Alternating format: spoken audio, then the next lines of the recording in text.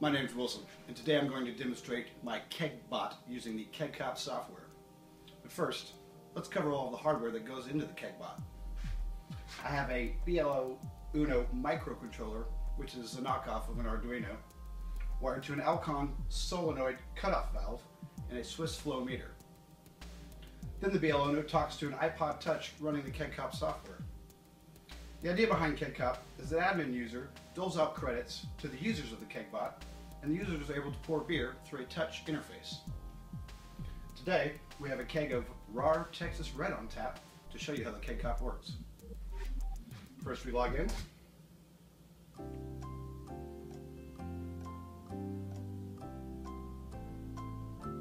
Then we type in our PIN number. That sound means you're good.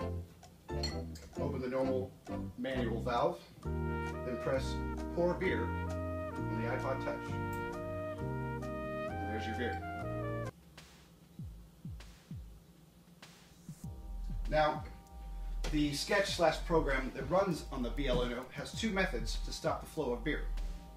One, if a user pours a full 12 ounce glass of beer, the solenoid will return to its off state because the flow meters in the beer lines tell it to.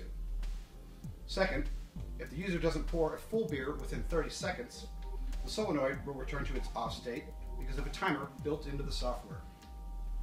Also, if there's no activity for 60 seconds, the software will log you out automatically.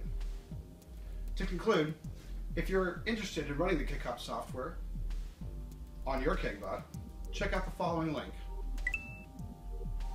Also, if you're intrigued by this project and you want to contribute to the open source of KegCop, check out this link.